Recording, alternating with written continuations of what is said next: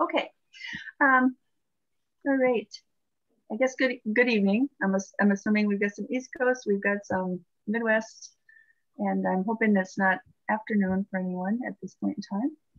I want to say thanks again for for joining us today. So I'm Cheryl Neeser. I've kind of been the host a few times in the past. We share that um, with improving as a Scrum Master coach.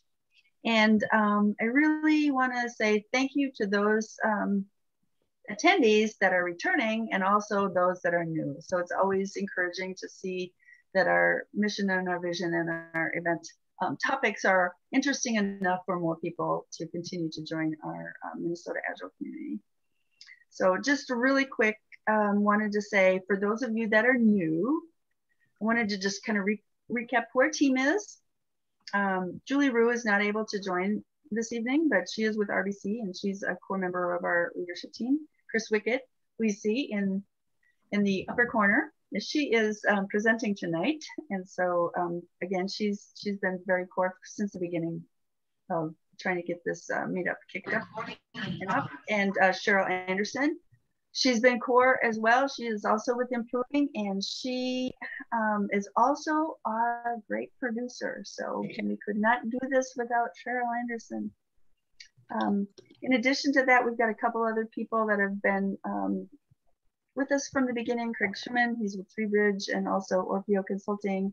Angie Agresto, who's not able to be with us tonight as well, but she is with um, Agresto Consulting and Training. And then um, we do have Mark Strange with us tonight.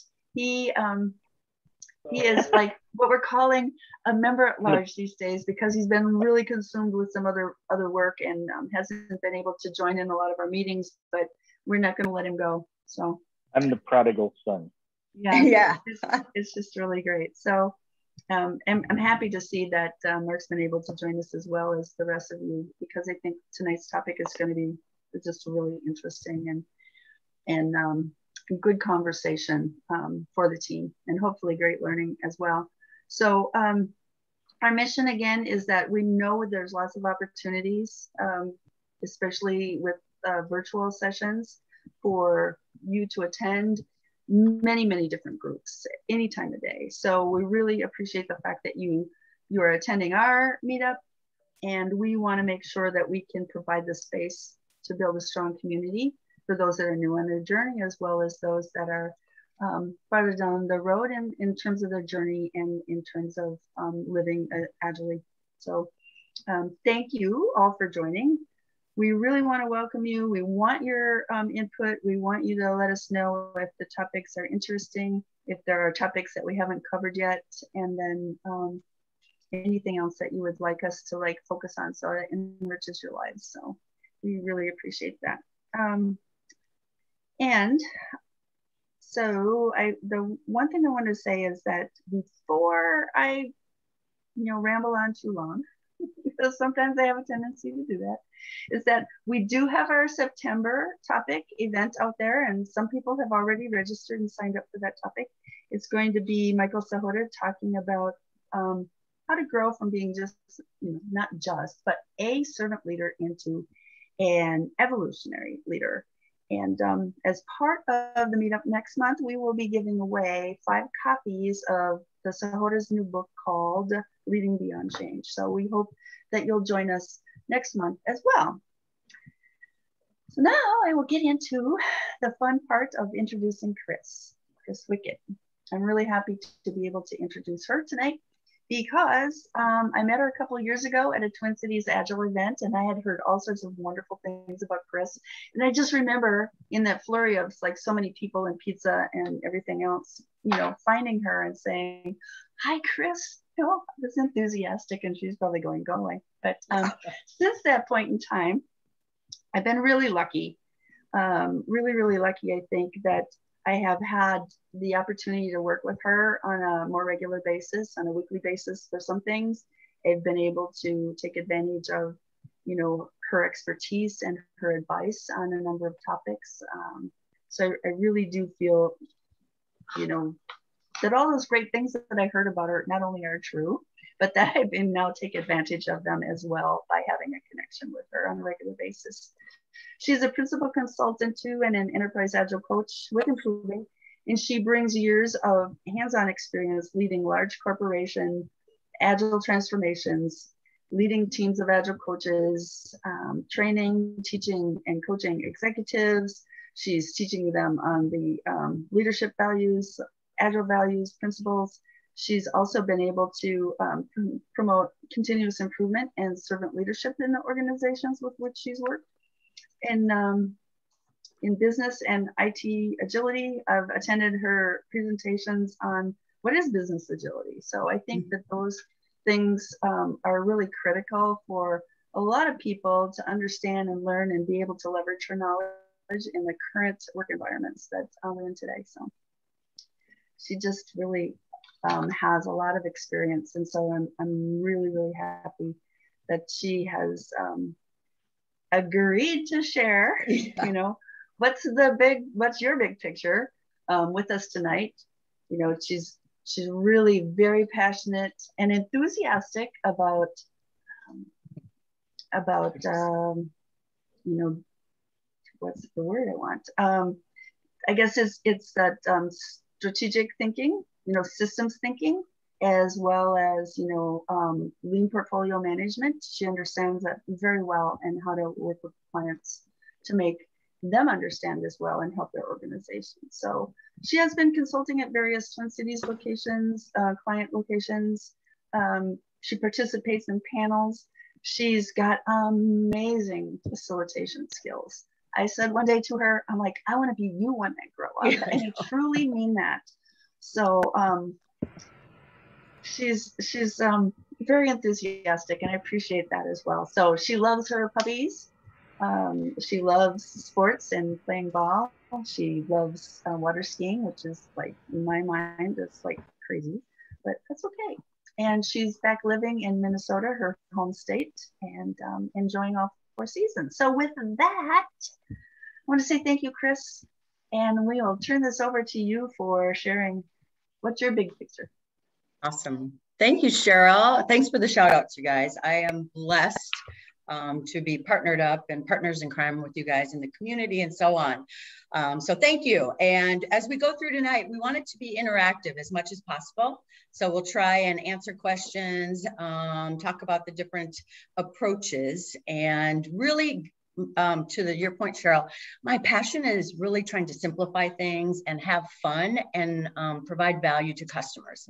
Um, I was blessed to uh, be part of the American Airlines family um, to Cheryl's point, I was born and raised in Minneapolis, moved down to Dallas for 32 years, uh, worked at American Airlines for 31 of those years, and led their agile transformation. And um, what was crazy is we started that journey um, right after the Agile Manifesto um, in 2003. And so we had a big, huge corporation that we were moving into an Agile framework, into an Agile mindset. And there wasn't a lot out there.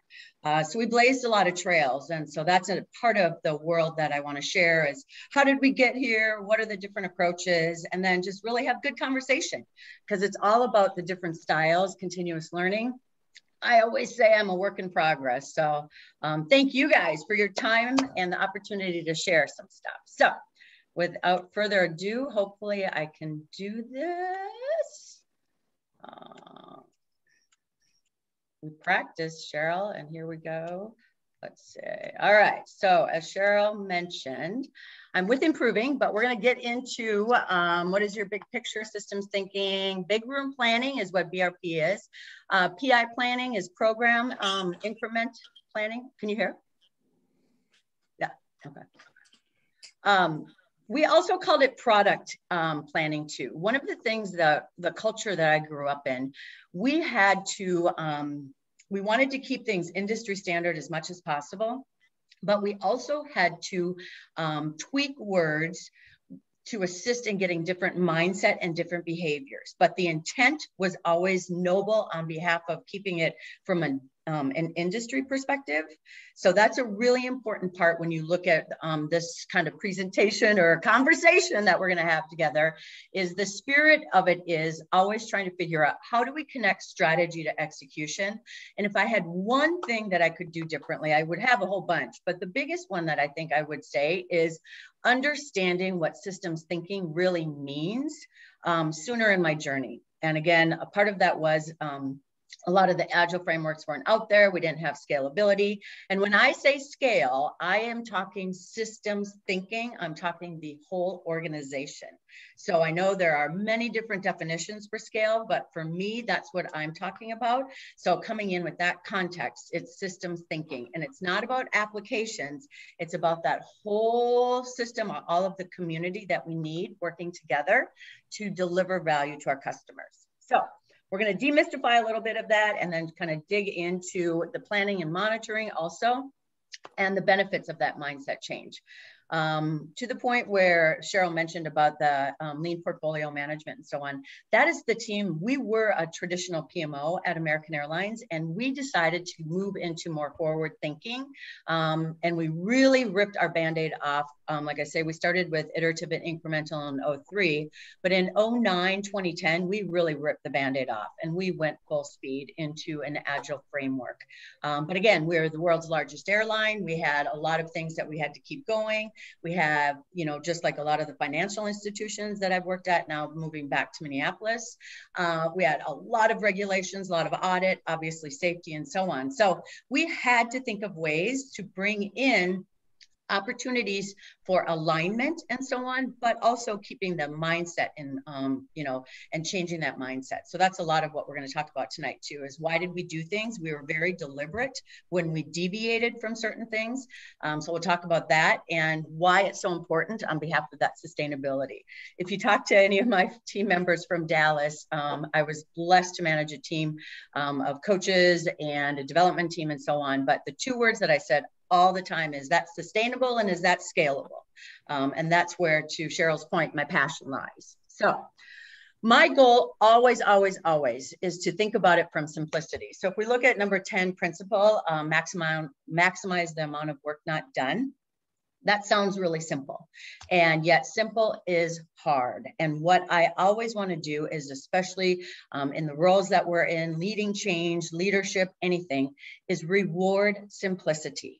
It is not easy. Complicated is easy, complex is easy. And our job is to weed through all of that and try and figure out the easiest way that we can remove that complexity, minimize our dependency, and make sure we're delivering the right value at the right time.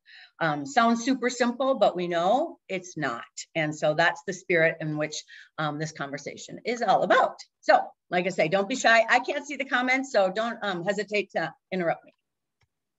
So this is again, what is your big picture? And if I, again, look back at my journey, um, continuous um, work in progress at the same time, I would say my big picture is that agile frameworks start with the ideal, but it's up to us to make them real.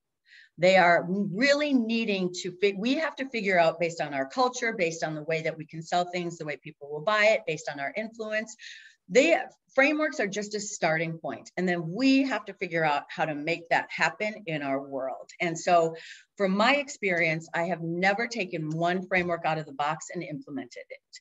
Now there is a degree of risk doing that um, but there's also a, de- a, degree of risk of the approach that I suggest is taking bits and pieces of the different frameworks, but being very deliberate um, of what the intent of different parts of frameworks are and ensuring that they work collaboratively and ensure that at the end of the day, it's all about flow and minimizing the gap between planning and being adaptive. Um, that again is the big picture that we're looking for when I talk about that. So that's the spirit again of this conversation is taking a look at the different approaches and figuring out how we can make them real. So big room planning, PI planning, whatever we want to call it, it's a technique to assist with connecting strategy to execution. At the end of the day, that is what we need to do. We need to figure out how do we get all of this strategic stuff and the great ideas that we have out there, but making sure they're the right thing at the right time and driving that into execution. Um, and it's fun to see that things have gotten better along the way, and I continue. Um, I expect that they will continue to be enhanced as we go. So if we look at this, and again, scale to me, it's not hierarchical. Scale is all about figuring out from the system perspective, how do we decompose work into smaller pieces, get it done, and then push it out into production to get that value back to the front from the customer to the customer and so on. So with that, when I talk about connecting strategy and execution, it is literally looking at the corporate objectives and then figuring out how do we drive that from strategic initiatives. We have that business backlog. We have all of the players, if you will, at that portfolio level that assist us with that, and they do strategic planning. Um, some may not be doing strategic planning yet, and that is one of the things that we want to see is happening is that we have to be both strategic and tactical.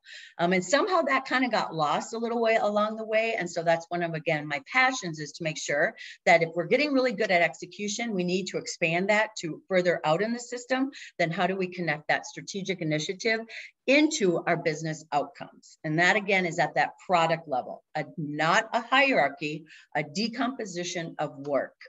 Um, using the technique again of um, objectives and key results is a really cool way to drive the business outcomes. This is again also where we want our teams to have autonomy. In the um, previous pictures in this, um, we used to have the word features here, in which the product management or the product folks would decide the features and then hand those to the teams. And what we've since done is evolve that to say, no, no, no, no, no, no. You tell us what the objectives and how will we measure if we're on track or off track. And we will then, as teams, figure out what features can support that. So this um, change is really, really important to make sure that folks see we're not handing team solutions. We're saying these are the outcomes we're going for, and you guys tell us how we get there. And so changing this from handing solutions to the teams is not easy. And that is, again, part of the bigger picture and the evolution of agile transformations as we're going forward. That is a very different approach than we used to have a few years ago, but one that's really hey, important. Hey, Chris, do you mind if we jump in and ask questions or do you want yeah, to? Yeah, please. I know several people are putting questions in chat oh, cool. too, but I don't think you can see them. I um, cannot. I, I, Thanks. I was just yeah, I was just curious where you draw the line um, between when you're talking about business outcomes and features. Um, it, I, it sometimes becomes a little bit difficult, particularly like with a UX team. How does that figure into this mix? And where do you typically draw the line? How, how do you enforce or, or encourage the product team to work in the realm of business outcomes versus features in a tactical sense? What do you do? Yeah. One of the techniques I'll, um, I'll share that we've used in the past is called um, Big Room Planning Countdown, in which we do um, weeks ahead of big room planning, we have different activities for different outcomes, and UX is one of them to assist in that flow of information so that we are decomposing that work and breaking down that information and providing that just enough, just in time. So we'll come back to that when we get to the, um, the countdown so make sure to keep me honest if we don't address it that way, but that's specifically how I have seen it work really well with UX and all of the different players, if you will, of helping us to figure out how can we get the, that alignment, but also give the teams some flexibility in that space. But also, when we are dealing with things at scale, we are having to put some constraints on things so that we can get alignment to deliver that value. So we'll come back to that, but it's called the Big Room um, Planning Countdown. Have you heard of that? I have not heard of the countdown. No, I'm okay. excited to learn about it. Perfect. Chris, one other question. Um, why is it hard to remove complexity? um, my opinion is that over the years, and again, coming from a very large um, corporation, we didn't have the lean mindset. And so we added, as we added, we did not lean out. And so, because of that, I think that added a layer of complexity and actually um, some complication, if you will. But the complexity is when we did not lean things out and we just added more. My opinion is that's what drives a lot of the complexity. Another part can just be size. When a business model of an organization is to acquire different companies and you're integrating different business models, different, um, different approaches, different methodologies, and so on, that again drives complexity for us to figure out how do we weed out this waste and really lean out the um, the environment. And so, from my perspective, that's what drive why it's hard for complexity. Um, if I had my druthers boy anytime, and I've been through quite a few of these, uh, leaning out before you start integrating would be a huge benefit. Any, any other questions in that space? That's it for now. Thanks. Okay, cool. And please, thank you, Mark. Don't be shy to interrupt you guys. So this is again the spirit of this is flow. Think about a river um, and yeah i thought i was just thinking about that. Here in minnesota for all of you guys we know that we have a drought but normally the river is flowing flowing flowing and that's our job if you will is to help the information and value flow in our organization. And the technique of big room planning or program um, increment planning product increment planning whatever you want to call it it is all about that consensus driven planning to get that buy-in and commitment and the spirit of it is, is that if we're all part of the conversation, whether if it's virtual now or if it's um, in person or whatever, that really, really helps to make sure that we all have that same understanding. Um, it can assist with having fewer meetings and so on, but it's really about that active participation understanding and going in with our eyes wide open about risk. Risk is everywhere. And if we really want to mitigate it as much as our companies say we do need to do it, then understanding that and everyone having a really a part of that conversation and the logic of why is this important? How did this get decided? Just being part of that community can really assist with that. Because at the end of the day, we have to align to the overall mission that is really up to us to figure out how we're going to do that. And as you guys know, once we plan and then we plan for the plan and plan for the plan and then life happens, what do we do? And that again is another benefit of everyone being part of that planning process so that they can understand again why, what was the intent? Why were we doing this? And to assist with everyone understanding that changes are going to happen. We know that. So let's embrace that and go in with our eyes wide open and figure out how we can do that. So that is the biggest thing is that one goal and keeping that flow of information. And this is again where that countdown will really help to see how it all flows together. This picture for me, like I say, if I could do one thing over um, in understanding systems thinking, it is that is what brings in scalability. That is the big thing that we have to understand. What does our big system look like? When we hear the term systematic problems, that's coming from this perspective. It's not about applications, it's about our whole ecosystem in our company. So even if we're doing agile at the team level, if we're not expanding that out further and further, then we're really not able to take advantage of the benefits that agile brings us to the maximum. Sure, we can do that at the team level and there's really good stuff there. But what we're wanting to do is really get that um, further out to the customer and so on. And we wanna make sure that we have that scalability thinking. Then we get into lean. And like I mentioned about complexity, um, this would probably be another part of my journey. Um, had we had we really leaned into lean, pun intended, we would have been able to understand that sustainability is about removing at the same time as adding. So as we're adding these new mindsets and we're adding these new tools and techniques, we also need to be removing that waste. And so lean is a really big part of the two passions I have, scalability and sustainability, of keeping that flow going and removing as many dependencies as possible. We then get into agile, and we know that that's an umbrella for many different types of frameworks and so on. And again, our job is to make frameworks real.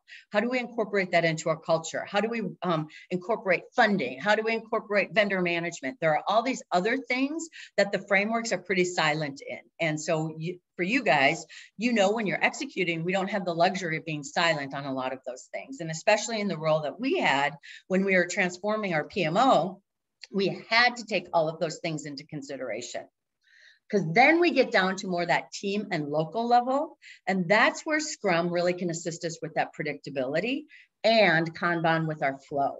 So this is again, that big picture of understanding how it all fits together, Why is it important? And coming back to how can we keep it as simple as possible?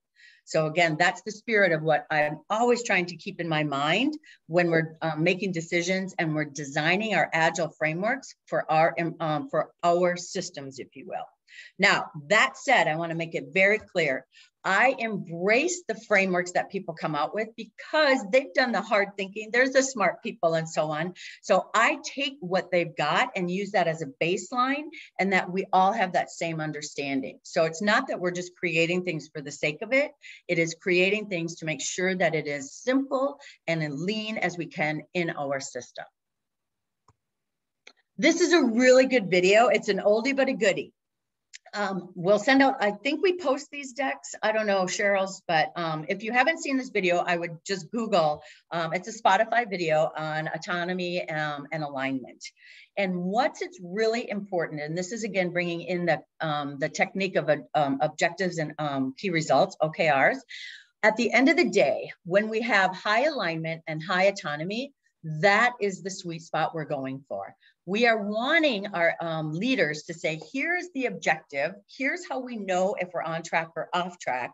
You guys figure it out how we need to do that. So the video talks about if the problem is we want to cross the river, then the leaders can tell you that you have to do it. We're going to cross the river, and I'm telling you, you need to build a bridge.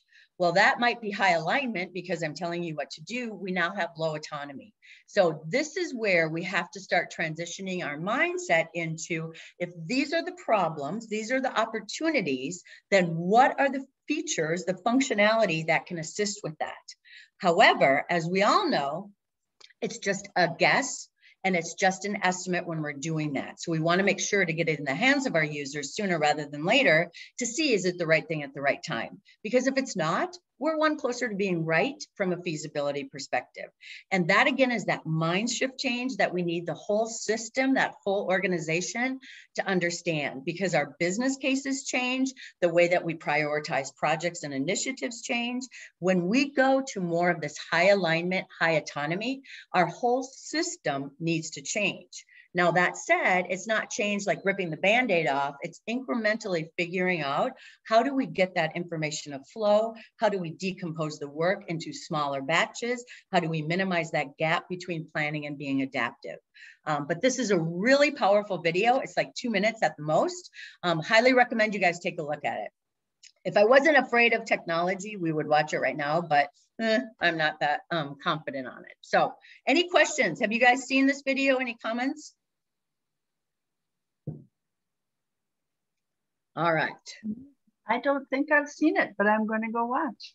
Yeah, it's a really good one. And it's a great one to share with the leaders because, and sometimes you don't even know that you're doing it. The other thing I want to show here is if we have low um, alignment and low autonomy, we don't even have leaders telling us what we've got going on or, and it shouldn't be leaders telling us anything, sharing information. That's what it is. Um, and then if we have a low alignment but high autonomy, uh, we're kind of in that cowboy crazy. And what I will say, when Agile first came out um, for a highly regulated um, airline, and safety being a huge concern, obviously, uh, when it was peace, love, and agile, and everybody just did things, I couldn't sell that to the organization. Our team couldn't sell that to the organization. So we constantly had to figure out a way how do we get this to high alignment and high autonomy so that we are able to do the job of execution and connecting that to strategy because then we also bring in the different five levels of planning. Um, we were big fans of Mike Cohn, um, still a big fan, but that's where we really started to rip the band-aid off to start to get to do things differently. We wanted to, again, bring that work into that decomposition of understanding what is our vision, our roadmap, doing release plans. Um, if you're scrum shop, calling them sprints, we were not a pure scrum shop. Um, so we called them iterations. Again, we deliberately changed names to get different behaviors. It wasn't until we ripped the band-aid off and went more to the planning onion that we were able to make traction and people saying, huh, what is this? What is that? Now, that said, roadmap is one that can be risky because everyone kind of has their understanding of what a roadmap is. So that again is an opportunity to figure out through big room planning, PI planning, color, whatever you want, that currency of features is what we want to have on our roadmaps. That is where the business can have that common currency. That is where the IT folks and our customers, because even when I am using my cell phone, I'm taking advantage of different products, but their features are why I go back to those products. So we want to embrace that currency of features. And that is an, um, one of the techniques that we can take advantage of in big room planning. Then again, release planning. By intent, we imposed um, release time boxes because when we moved from projects to products, we wanted to impose time boxes so that we really could understand what is the value that we're delivering. Uh, so at a bare minimum, we did that in quarterly chunks and you'll see that. And then we continued to make our sprints or iterations smaller and smaller as we went along on the journey. Um, but that again is another opportunity for different ways to break things down. This is, I'm a very visual person, even though I can't draw. Uh, this is again an opportunity to show no matter where we're at in our system, we can use this as a decomposition of our work. This can be used at the portfolio level for strategic initiatives. Um, it can be used for features and so on. And so what we wanna do, again, when we have complexity, we want to make sure that we are um, assisting in some guardrails to help to decompose that work and keep the flow going. So we wanna have that vision. What is that business value? What problems, opportunities are we going at? How can we get there? This again is like I mentioned, we impose time boxes so that we are saying this is a bare minimum of value. We want to deploy when ready. If we have an organization that is so mature, we've got our DevOps and all of that, deploy when ready. I would never hold back on deploying things when they are ready. Because again, from the lean perspective, that would be waste. But if you're just starting your journey or having issues with trying to figure out how can we make this work, this was one of the techniques we did is for um, imposing that time box so that we had a boundary.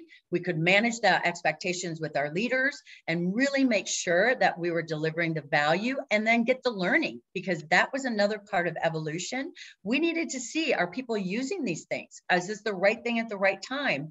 Because if it's not this is where we go back to our vision and roadmap and we tweak it for the next release so we do not plan, whoops, sorry, we do not plan all of these out. As you guys know, they are fuzzy as we go forward, but we do want to have an intent of what are we trying to accomplish and how will we know we're getting there? Did I see hey, any Chris? questions at all? Yeah. Yes. Yeah, I have a quick question. So uh, this is kind of back to my original question. On your roadmap, are your roadmap items features or epics, feature epics, or are they business uh, problems to be solved and yes. who manages in your yeah. in your new view who manages the roadmap um, in when i'm in portfolio at that higher level from that enterprise picture these um, are more of the what would call what SAFe would call portfolio epics um, if I'm at the product level, these would be features because I think I have another one where I have them as features. So the answer is yes it, this was a t- way that we managed small big batches into smaller batches no matter where we were. So if it was at the portfolio level and we had a year long initiative if you will we would break these down into smaller portfolio epics if at all possible. Um, and we might even just have one or two that because we wanted to really find out are these the right things at the right time so it can be what wherever you're at in your system, this can be used at, for that. So yes, it can be SAFe, um, what I would call portfolio epics, um, but it also can be at the feature level. Does that answer your question? Kind of. I, I was curious though, earlier you had mentioned that you were trying to avoid um, dictating to the team's uh, features and instead giving them business problems to solve are you including then the product managers and the product owners as part of the, the team that are defining these feature epics? Yes, yeah. Oh, abs- okay. Yeah, when I'm at portfolio epics and in that, yes, absolutely, absolutely. They are part of that conversation as it is moving from that portfolio into that product world. I have my objectives and key results, my hypotheses, if you will. And so absolutely, they're part of that okay, conversation. Yep. Yeah, except I'm used to seeing you going from the OKR to an initiative yep. to right, directly to the roadmap. I was curious if you had another step in there where you're saying, "Hey, team, um, I don't care how you do this, but just solve this problem." Yeah. Nope. Okay. Cool. Yep. Yeah. Thank you for clarifying. Because nope, I'm in alignment with what you're saying. Yeah. Yep, I, I got you now. Yep. Perfect. Thank you. Any other questions, comments? And I really That appreciate actually- you clarifying that. Yeah, I think actually that that might have confused me more. Uh, so the at the portfolio level, it's the OKRs. Um, at the portfolio level, there are, yes, there are Okay. objectives, if you will, um, and key results, yes. Yep. And Yep. they are then decomposed into smaller parts of that, if you will, or they can be that same portfolio epic that are brought to that product level to say, here guys are the objectives that we're looking for and key results. And that product team, um, is assisting with that um, to be part of their world to then hand those to the teams to say now teams if these are our objectives and key results then what are the features that you guys think could assist with that because it can sometimes break down um, from my experience and you guys um, probably have um, more experience in this space but portfolio epics um, from a SAFe perspective and hypotheses if you will still might be too large that we break those down at the product level into different ones because it might be a collection of products that assist us with getting the objective at that higher level that's how i've done it before is that those objectives and key results can can break down again at that product level to the different teams does that help angel Um, I I guess I'm getting confused in in I, don't know if it's the colors that are necessarily throwing me off or each of the different colored boxes in OK. uh, Let's talk at the portfolio level. Each of them an O a, a different OKR. It yes, it could be. It could be or not.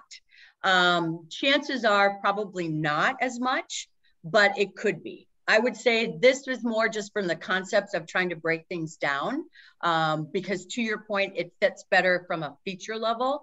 But the visual is just trying to represent that this kind of can assist of breaking big things down into smaller pieces. Because your OKRs might not, they might be small enough that you don't need to decompose them to multiple teams Yeah. we just had so many dependencies that we ended up having to do that sometimes. Cool. I like I like that relationship. I have to process that a little bit more, but Yeah. like Yeah, I can understand. Yeah, that's where this complexity and um, simple's hard. Exactly.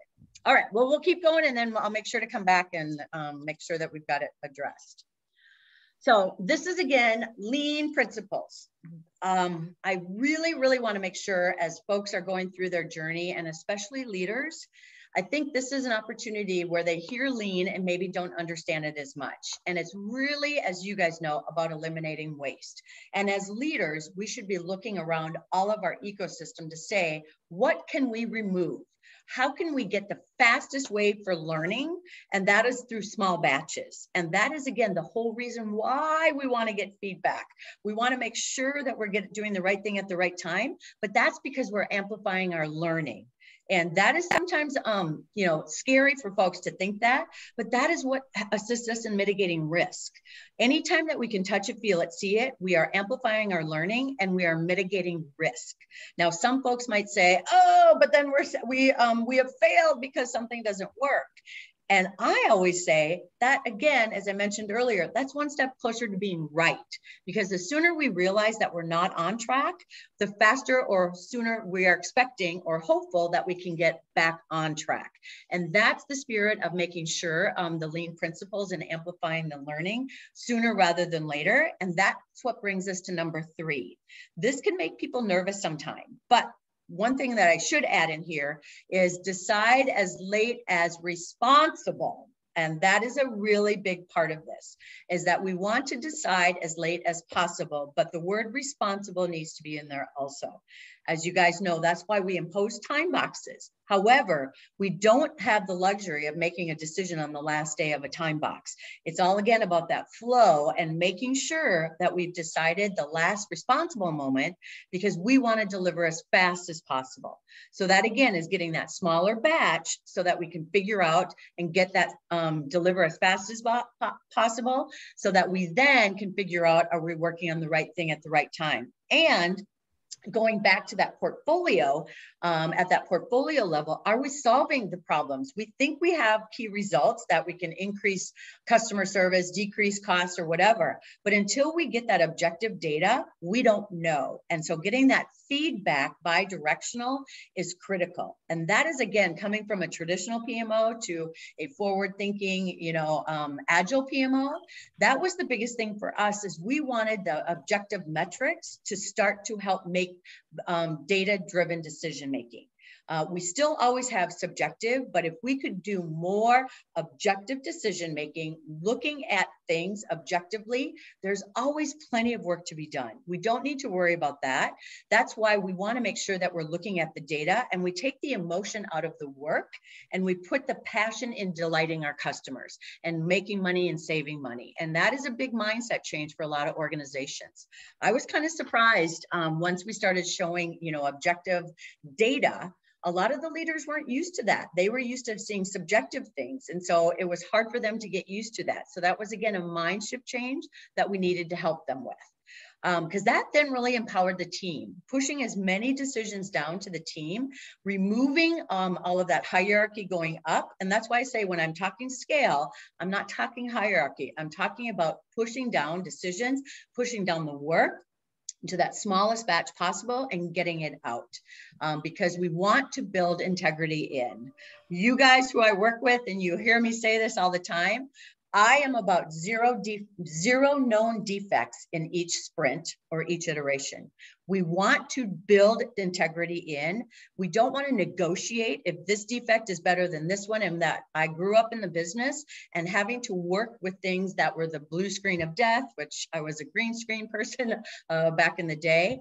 Um, but I didn't want to have something that I had to do a workaround. I would have rather have fewer features and less functionality and more quality. And so from my perspective, um, on behalf of Lean, we have to be fussy and we have to build that integrity in so that people trust that what we're doing is mitigating risk. And by the smaller batches, we're able to hold that quality in high because that is then when we see the whole.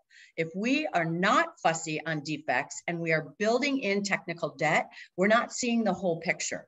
It's a pay me now, pay me a lot more later. And that's where, again, we want to make sure that we're um, feeding this into the um, whole system that's going why going back to big room planning pi planning call it whatever you want. Everyone who's working on delivering this value is working together and understanding the whole because of the dependencies. As you guys know it can be like dominoes. One thing gets off track and it all falls down. And that's not what we want. We want to be very proactive in this space.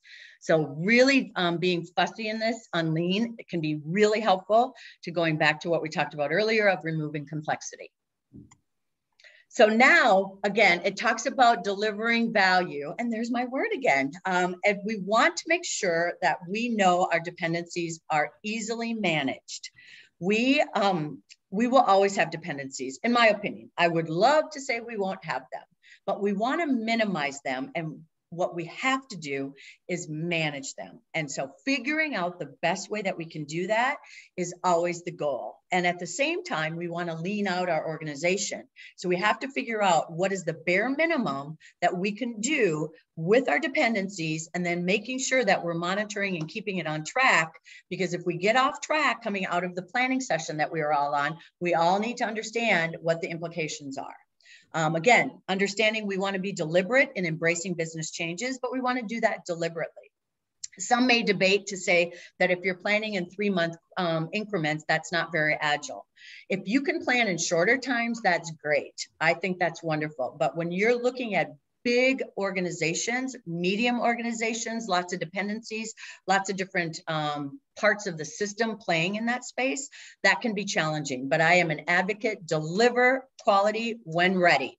Um, you wanna make sure that you're always delivering, but at a bare minimum, make sure that you're doing that planning, if you will, quarterly. Risks, I am all about risks. You've heard me say that and about the team member. And what we want to make sure is it's that continued communication across the program. Um, because at the end of the day, we do need to have controls on these. I'm not talking micromanaging. I'm talking going back to that video, alignment and autonomy. Because if we have alignment, we have more autonomy. And that's the better way to control things. So this is again where I talk about coming from my traditional PMO. And what's funny is if you do any type of um, uh, behavior profiles on me and stuff. I'm not a process person, which is crazy because I managed a process group for most of my career. Uh, but that's maybe where my passion comes is trying to figure out how do we simplify it and still make sure that we can, um, at the end of the day, what's the scope, schedule, and cost that we're trying to deliver for the value of our customers.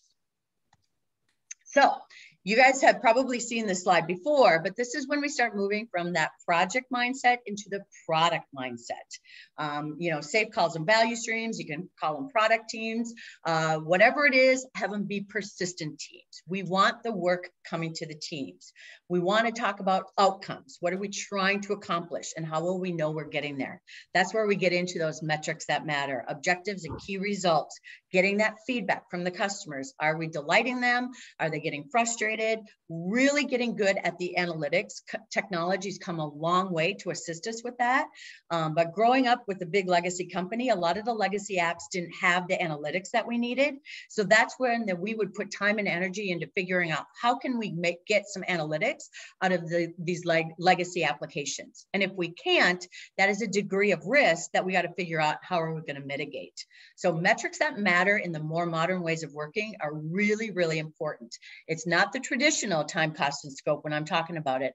I'm literally talking about objectives and key results and getting that real feedback from the customers.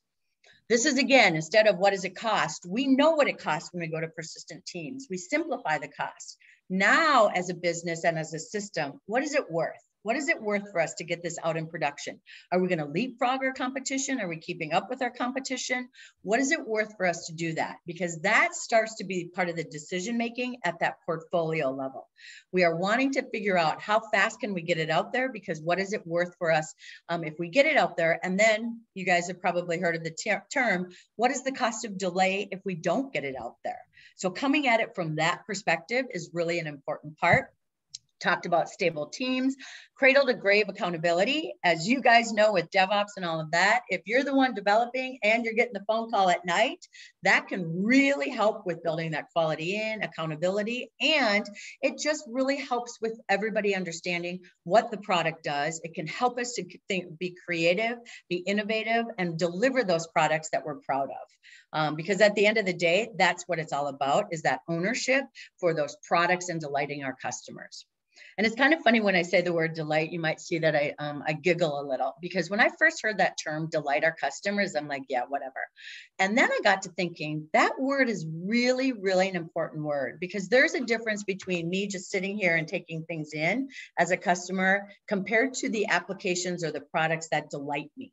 There are two different worlds for me. And so once I started to really think about what products do delight me and why do I go back to products, that's the key that I want to always make sure that I'm delivering. And that's my passion of helping other teams and um, organizations to do that is to really delight our customers and have fun while we're doing it.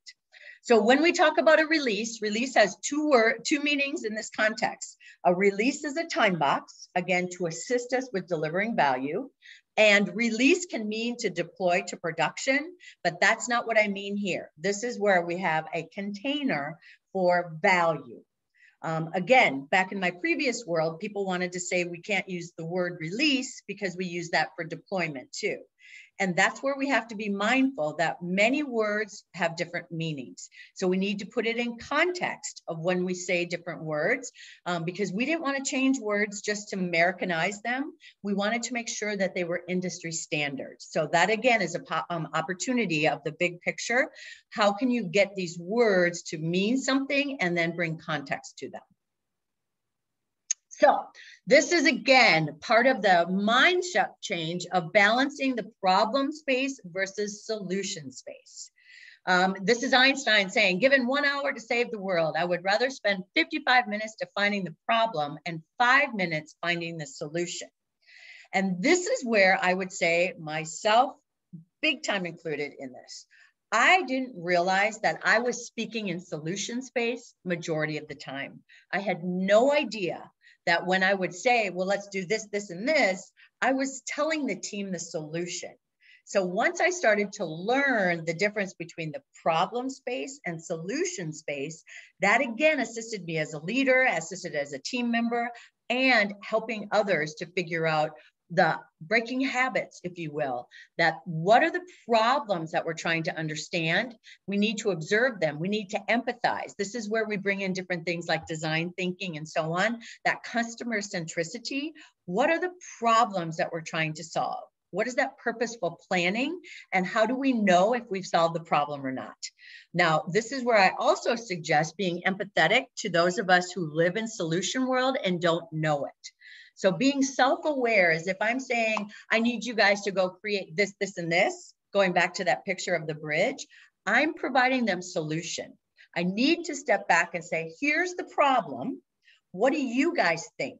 What, what do you think we could do? And what can we build to test and learn to see if it's on the right track? So this is a really different concept. And this is again, part of the reason why when we get into big room planning, we have done the countdown, which is coming up. So I'll make sure to get through that so you guys can see it to see how do we take our problems and then come up with ideas for us to get out into production to touch it, feel it, see it. But this is a really big difference than what we do today. Um, so kind of being, a, like I say, self-aware of your own style. And if it's a habit that we need to start breaking and your leadership and culture. Because again, majority of the time when we're creating projects, we're handing them solutions and it's, you know, by intent, hmm, probably, but they may just not know that there's different ways to do things. And that's why we take advantage of the other tools and techniques that are out there. So this is again, part of the reason why we wanna get uh, everyone in that same system to understand what is our problem and what's our hypothesis of how we think we can solve that. That's where we take on, um, we've talked about objectives and key results. I know they're the hot thing going on, but they've been around for a really long time and they are just such an easy tool. Um, and this is again where we say, what's our objective? Create an awesome customer experience, delight our customers, as I mentioned earlier. This is what we want to see happen, but that's nebulous. How do we know if it's an awesome experience? How do we know if we've delighted them? That's where, again, this is a mindset change and a discipline that is really, really important we need to say we need to change from X to Y. The risk that people have is that in the past, perhaps they've been held to a, you know, that if I get it wrong, I'm not going to, you know, I won't get, um, you know, I'll be in trouble or whatever. And that is not what we need to have at all. We need a trusting environment and we need to make sure that that's part of that continuous learning, that it's just an estimate when we say from X to Y. That's just a desire. Even when we do our traditional business cases, which we've done many, many of those, that's just a hypothesis and a guess uh, or a desire of what we're looking to get out of the solution. But until we really start measuring it, we don't know. So one of the techniques I always suggest is when people are doing this, make sure they understand that it's written in pencil. We just need a starting point. If we're finding out as we get those metrics back and we're not moving it the way that we expected, that's the point at which we start discussing, huh, that's interesting. Do we need to pivot or are we going to persevere and see if we want to do something, you know, add this or that? Or is it that we've thrown enough good money after bad and we need to stop? So these are not intended to be written in mar um, permanent marker. Even if they're in pen, we want to scribble them out, but we have to have a baseline um, to be able to draw against to say, are we on track or off track?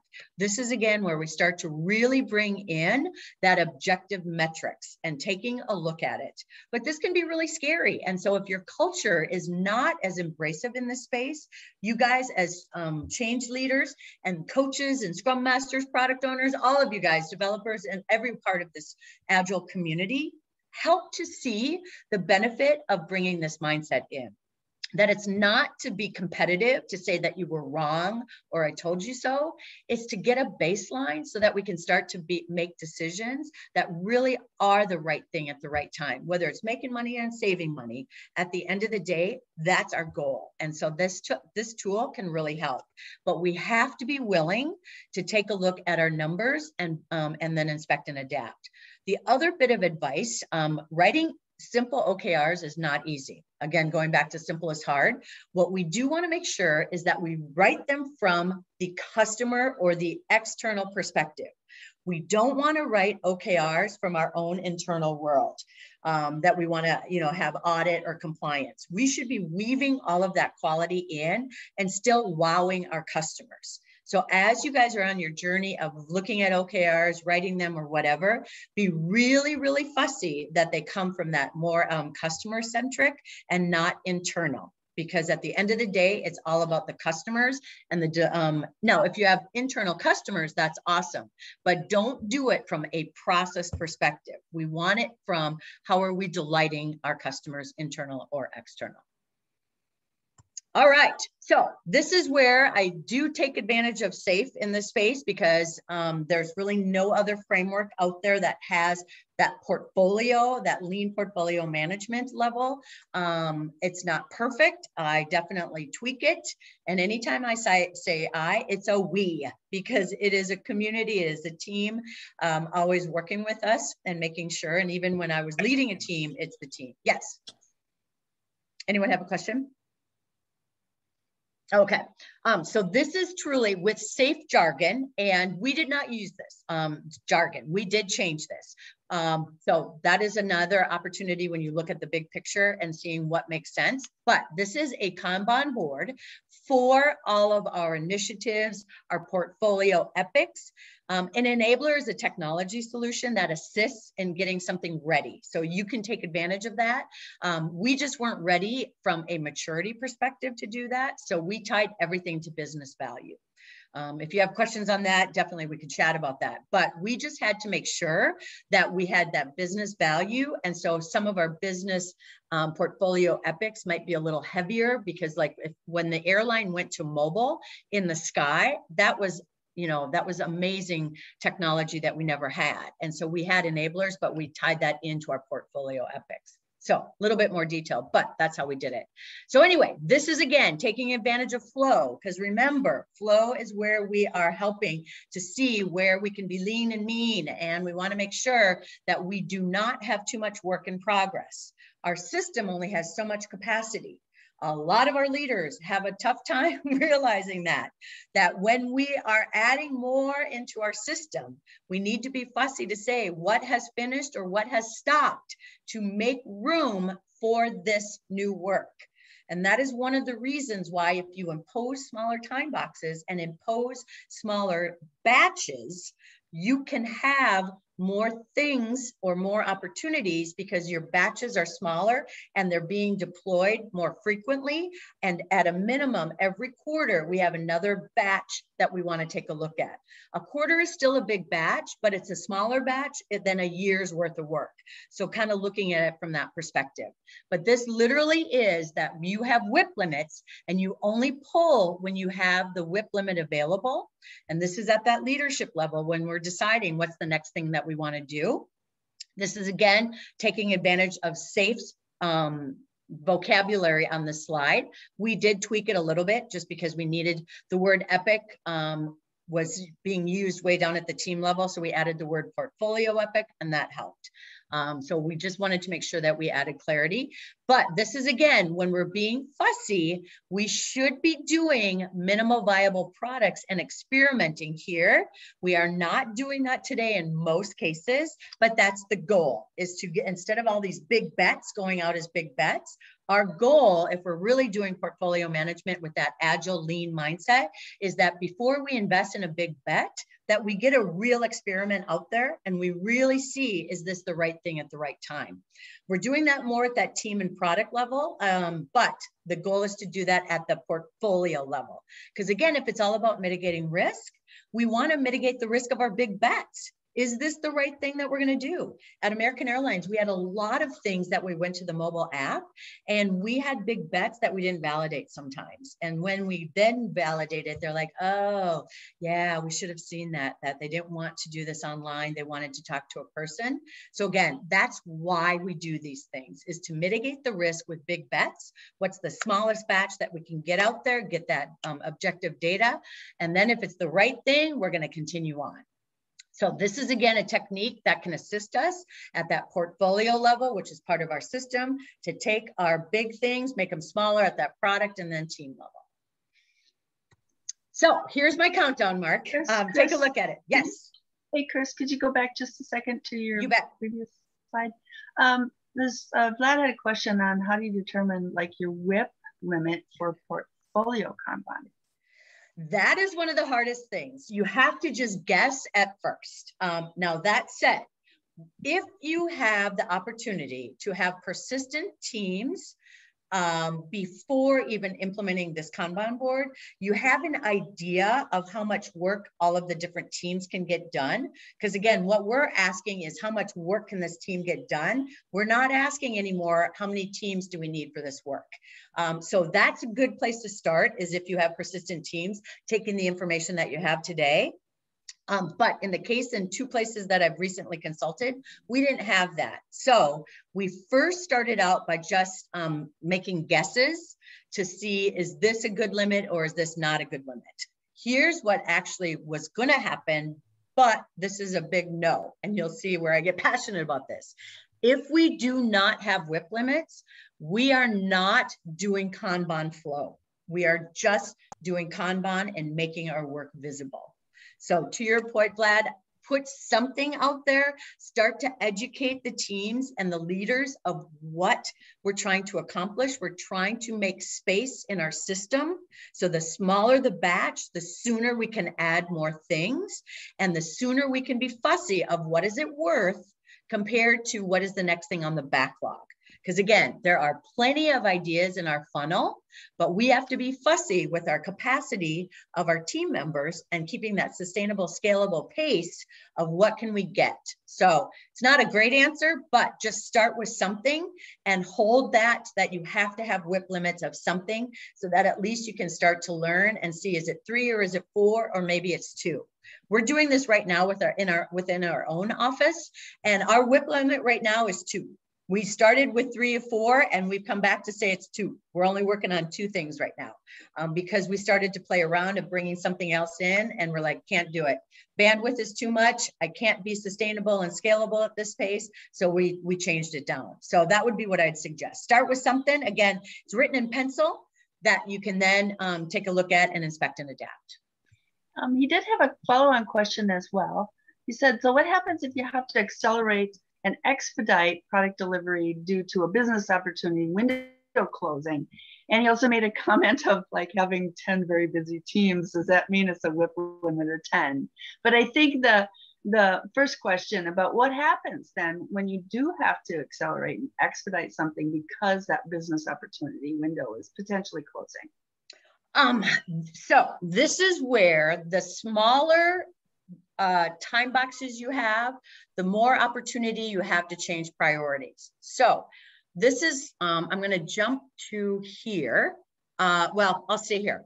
This is where the business needs to be strategic. They should be refining the next things coming up so that we're not doing these last minute changes. We do have sometimes that happens. Definitely, I'll say, and you guys have heard me say this Delta came out with this, so we need to do it. Well, we should have, from a business perspective, been paying attention to our um, our competition all along. Now, of course, people keep things, you know, secret, and they've got these big announcements and so on.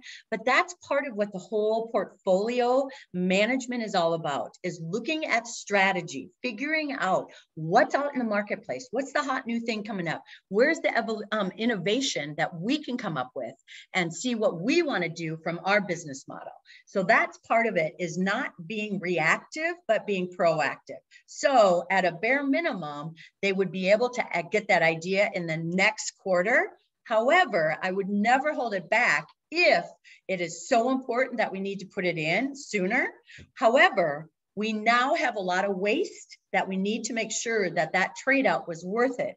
Or can we hold off until that next increment so that we can be deliberate on that um, change in priorities? So it is balancing that alignment and autonomy, but being also strategic and being disciplined to make sure you're changing for the right reasons, because there's a lot of cost that goes with that. Um, so it's anything that we can do to provide an environment that enables those decisions to be made like that. However, we want to do that in a disciplined manner. So the smaller the time box, the better off that we have in that, which brings in kind of the benefit of the business to have this mindset. All right. So this is again where I talk about flow. Now, in a quarter, there are 13 weeks. So you can do this with 13 weeks of countdown. You can do it with five. You can do it with ever you want. But the spirit of it is, is information is flowing the whole time. And this is taking advantage of working backwards. If our big room planning is all about alignment of dependencies, OKRs, and monitoring of cadence and so on, what are all the bits and pieces that we need to make that happen? That's where we go back and say before big room planning, here are all the things that we need to have happen to keep that information of um, flowing and so that we keep priming that pump so that the next quarter we're ready to go. So one of the techniques in this space is that yes, we are pulling people off of current work in this quarter, preparing for work for next quarter, because that is part of refinement. That is part of flow. That is part of lean. We want to make sure that we're doing the bare minimum that we need to do so that we can get the best benefit um, at the right time. So this is an, a technique that we've I've used quite a few times and we've tweaked it because this again is an example and it needs to be your uh, what is that saying? Your mileage may vary but it's a great starting point. So if we take a look at it from review our objectives key results again what problems are we trying to solve? How will we know that we're doing it? We want to start to align those priorities. This is again where we take a high level look at the different products and their visions and their roadmaps to see who's going to have capacity what are the areas that we even need to consider um, Angel, this is kind of where I was talking about where we have those nested kind of maybe OKRs that we decompose them a little bit smaller because this is where we then start to look at product teams might have different ones, but I don't want to confuse you guys too much. But this is where that countdown can maybe help because um, this is where it starts to flow from that portfolio to the product and then the team. Again, your mileage may vary. You may have different groups part of it, but this is again, then we start to align our portfolio epics. I should have put the word portfolio, sorry. Um, portfolio epics to the teams. We want to start saying, hmm, this is what we're thinking about. We want to then get with, now this is risky because we're proposing features and conceptual architecture. And at this point, we haven't brought in the team yet. So again, this one you might change a little bit, but it's all about flow. If the leads can speak about from the team's perspective, we've got the business, the architecture, whatever it takes to make that happen. But again, it's all about that autonomy so that the, the teams really have um, opportunity to speak up. And that's where we say decomposing the features into user stories. And the minute that they see this is not in alignment, we wanna make sure that they um, raise their hand. So this is not written in um, permanent marker. This is written in pencil for you guys to, you know, to tweak as you find necessary. But the why kickoff is an important meeting because what we're saying back um, to our teams, if you will, is leadership is saying, we this chunk of value that you've been working on is great. We can't wait to get out in production and then get the metrics to see is it the right thing at the right time. And here's the next chunk of work that has been prioritized. That's why we call it the why kickoff. Why is this work more important than the work that's been going on and future work? This is where we start to have that purpose of what are we trying to accomplish? Why are we working on this compared to other things? And this is again, if something has changed and the business is saying we want to keep up with our competition, this is where they are explaining all of that. And we're all part of that conversation. And again, you can add the team here. We actually did more times than not um, we had the teams be part of that, but that's up to you guys to decide that. Um, I would never exclude teams, but I also want to be um, mindful that they're working on a current um, scope, if you will, and current value that we want to get out there. Um, this is then when we bring in the user stories. And this is Mark, where we talk about wireframes and mockups, is we start to figure out if these are all the problems and opportunities, how can we get the wireframes and mockups sooner rather than later? We might end up moving these up further, but we have to kind of balance, as you guys know, we're not wanting to, you know, have this um, be so um, planned that we can't be, if you will, back to lean and decide as late as possible. So we got to balance that of deciding late as possible, but delivering as soon as possible. And that's part of this world is wherever it makes sense in your culture, how soon or how late into this can you show those wireframes and mock-ups? Does that help at all, Mark, on seeing how it kind of fits in with that countdown? I think Mark had to drop. Oh, he did. You're right. Yeah. He gave me a heads up on that. So thank you. I apologize. I forgot. Um, and then no, I, I just want to make one connection just to get my brain. Is this this is system? what what part of this big room planning? Where does this big room planning come? Is this system thinking or is this? It is. It's okay. it is systems thinking, and it's all of the people that are part of getting this big thing into production or this piece of value into production because the business and that portfolio management group are um, you know all of the marketing the legal the audit risk mitigation people whomever they've already been part of this as they are going through that kanban board and working through the next chunk of priorities. So you're exactly right. This brings in that systems thinking to everyone involved so that we can decompose that work and keep the flow going. Because in this system thinking is very well known. Um, it should be, but I will say I heard the term for many, many years and I didn't get the concept. So that's what this is um, supporting is that concept. Because we got new leadership at Bremer and they have a 10 week initiative. And I have a feeling this is what it is, especially on some of the things that I heard. So this is exciting. Good. Even better to hear that it's all coming from that same perspective. That's why changing too many things outside of the standards is really risky, um, but configuring it to your environment is um, perfect. So that's really good to hear. Really good to hear. Um, this one I want to make sure you guys know. Now, this is part of SAFe's world too. Um, I don't know what they call it, but we called it product innovation. Um, but it's really the hackathon. It is allowing the teams to work in the innovation space, literally giving them one week to say, work on your stuff of your product. The constraint that we would put on them is that it had to be in the context of their product, but they would get the opportunity to have a mini hackathon. And at the big room planning, then they showed off what they came up with. And for all of you guys who have participated in that space, as you guys know, it's magic. I mean, it is crazy, even just the tone of the teams when they say, and we did this and we did that, and oh my gosh, what about this? I mean, a lot of times leaders are like, no way, I don't want to take care, you know, they're busy, they're busy, and that kind of thing. But that's where we say, however, we need to make sure we go back to that business ownership and that um, alignment and autonomy and we have to make sure that we are bringing fun and excitement and innovation into our new world. The digital world has changed everything, and we want to embrace that. And that is, again, when we do this with um, a deliberate one week, the risk is really minimal because we know the cost of it. And when we have to show it off at the big room planning, we get to show the value that we can deliver.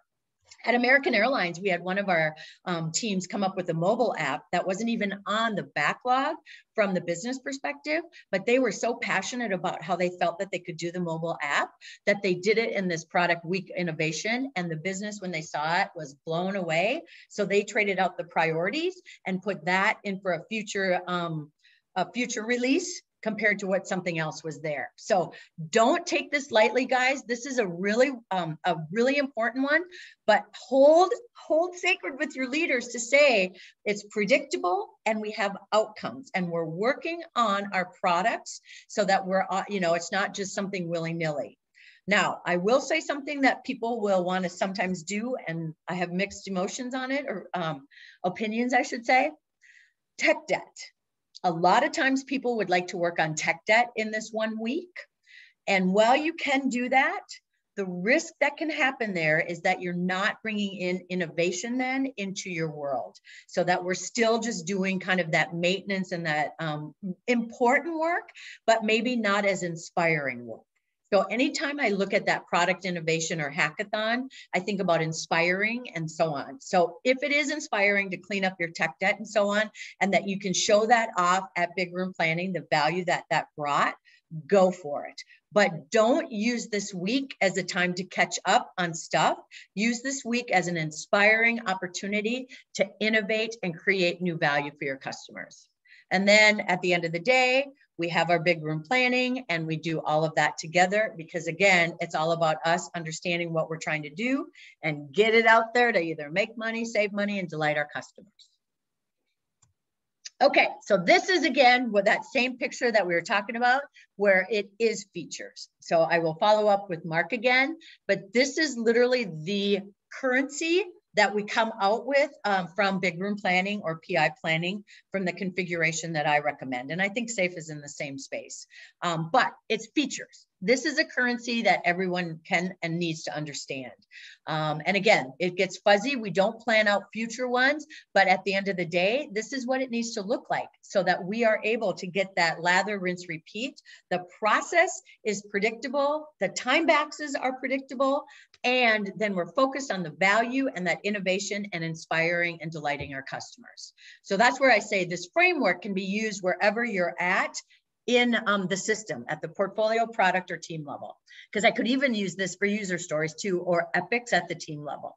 Um, but this is again a really helpful visual for teams and leaders to see that when we even do this, we are talking that things are deployed and working because we're going for flow. And as soon as that last, um, you know, we're coming out of big room planning, we're going forward and starting to go back into delivering that value. So that's why having that week of innovation and that week of big room planning gives the team an opportunity to take a deep breath and then we go back into lather, rinse, repeat.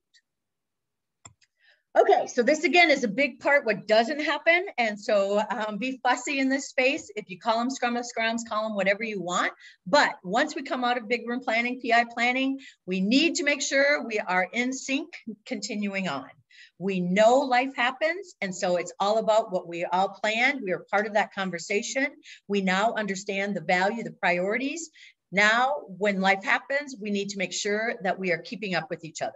The term in the industry is scrum of scrums, in which all, we want to make sure that we're talking about dependencies, milestones, whatever we're using, risk, risk, risks. We want to make sure that we're taking a look at our KPIs and we're making sure to address the cadence issues if we've got somebody that's lagging behind, um, that something was bigger than they expected and they're not going to be able to deliver it through our dependencies, what are we doing to mitigate that and adjust the plan? Because we want to hold sacred delivering that value to the customer wherever possible. We know that anomalies happen, but we do need to be predictable. Um, I think I was on ProductTank meetup and it was um, Jeff Patton, I think it was actually said um, about deadlines and dates in the agile world that if I was going to get my car fixed and the mechanic opened up my hood and said, I'm agile, I don't give you a dead a due date of when I can get it done, we wouldn't go back there. So we do have to balance that we have um, dates that we have to live, you know, target, if you will. And it's through the scrum of scrums, PO syncs, and so on that we communicate and um, manage those expectations. Uh, so that could be something that people don't agree with me on. However, I again, I think in the real world, we have to have some of that predict predictability. PO Sync, this is a, where everyone is understanding what we're trying to do, the priorities. Uh, again, highlighting if we've got things going off track, what are we doing to get back on track? and making sure back to Vlad's idea is if we have something coming up with our market or something, we are preparing if we need to change priorities. I really don't want to go there. Now you can do that with a very mature organization and you can do it um, inside your time boxes, but just be really mindful of the risk rewards that go with it is all that I would suggest. Um, and then this one can be debatable too. Again, your mileage may vary, but it's easier to track this stuff. It's easier for the whole system if we are on a synchronized cadence. Uh, debatable by a lot of different people, but I have found I've lived in both worlds and the synchronized cadence is definitely easier and less complex because we all have an understanding of what's expected and what time. The demo review and retro, what I would highlight here is just making sure that we are looking at fully integrated working product.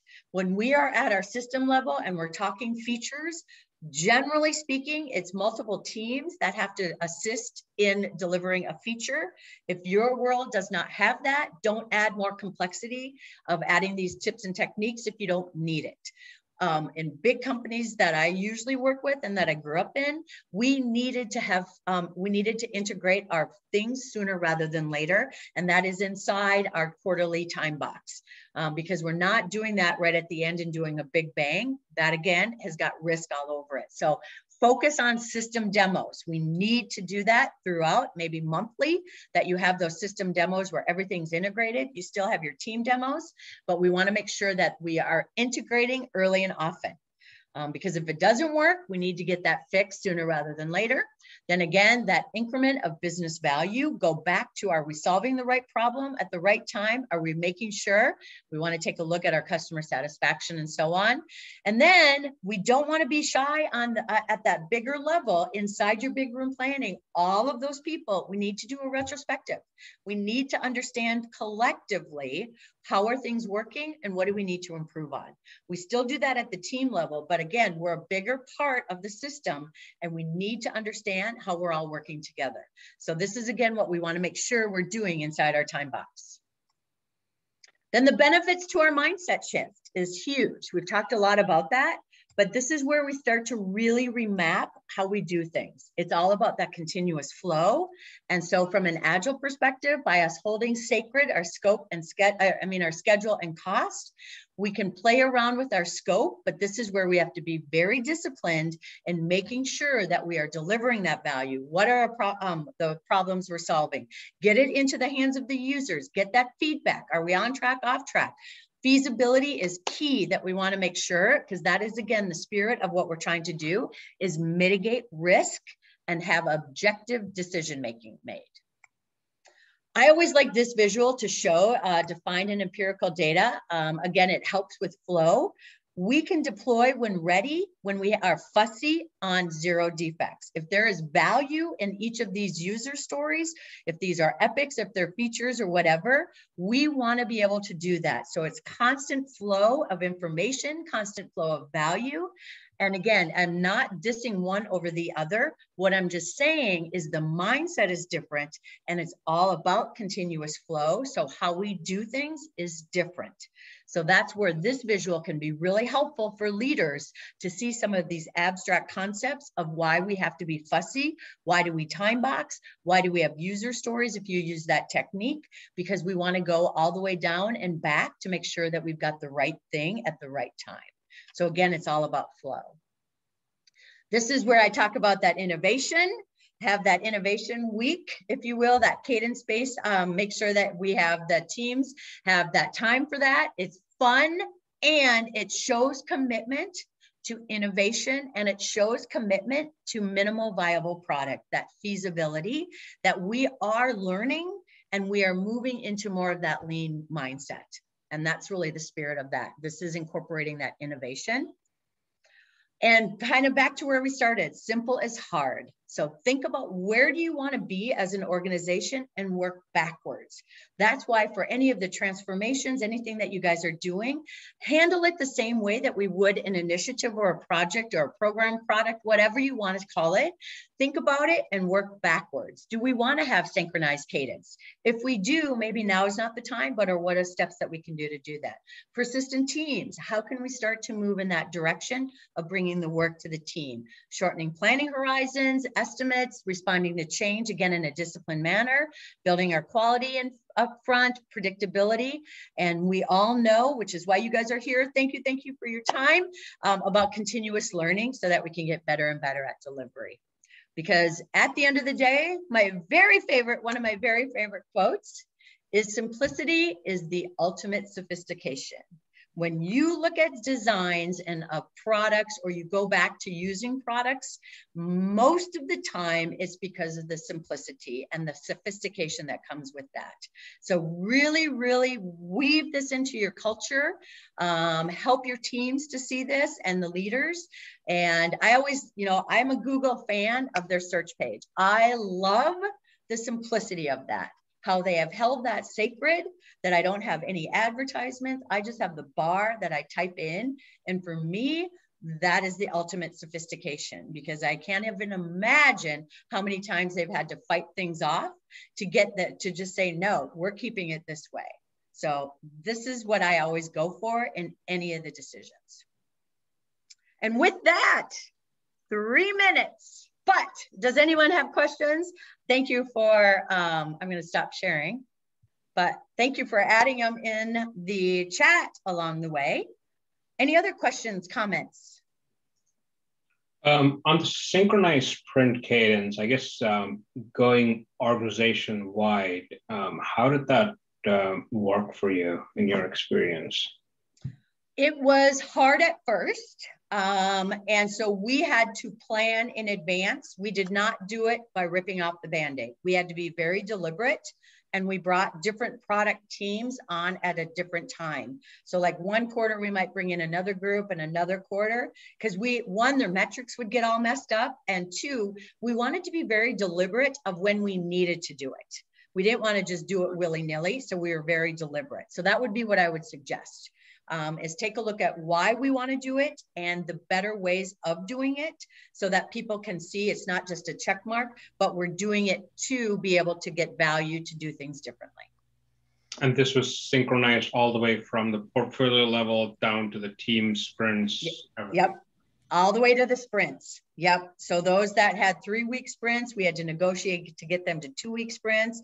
Those that had one week and so on. So we just had to um, kind of compromise sometimes. Thank you. Uh, what value did we get out of it, Vlad, is what you're asking? I do. Um, one of it was uh, predictability that we were able then for big room planning, we were not having to have it all off, off um, well, I'm doing this and I'm doing that. We are all in quarterly planning. Um, we did annual funding still, and then we did quarterly reviews. So it fit really well into our culture, um, just doing it that way. But then from a reporting perspective, it just provided better data for decision making. It wasn't predictability from velocity and all of that. Those are not the metrics we're going after. We were doing it from more on behalf of the integration of features and so on, getting it out to production, and then measuring back that value. So that I would say it's for the outcome metrics, not the output metrics. I'm not talking team metrics. I'm talking metrics that are back to um, the big bets that we're going after. Anything else? Chris, I just need to know how soon is this video going to be available so that oh. Good question. We'll get it out as soon as we can. And if you guys know me, I hate videos. So for me to do this, yeah. so for you guys, I do it. But yes, we'll get it out there, Angel. We'll keep you posted for sure. And we'll get the deck so that you guys can have it. And please don't be shy. Reach out to us. Um, answer que- well answer questions throw me some ideas too. I'm always wanting to learn and adjust and inspect and so on. A work in progress, so don't be shy. Actually, Chris, one question. If you were to recommend any particular book or video or something on system thinking, what would you recommend? Oh, I would do um, Project from Product to Project to Product by Mik Kersten, I think it is, that one. Um, and then there's another business agility one that I would recommend. Um, but yeah, that one really helped for flow and systems thinking. But I, will think of an, uh, I probably have other ones too, Angel, that I'll ping you with too. Thank you. Yeah. I gotta say, Chris, everyone that had to drop early for whatever reason was like, can't wait to see the video so I oh, can oh, no. catch up on what I missed. and a lot of like, thank you, fabulous you know, Chris, you're as awesome as everybody said you are. Uh, well, that's sweet. I, I, I'm inspired by you guys. So thank you, thank you, thank you. You guys keep me coming and think, um, I, like I say, inspired. What's next out there? What's the next thing that we can bring in to bring in that sophistication of simplicity? so thank you so much for your time. We'll see you next month with another good one that kind of feeds into this whole thing about leadership.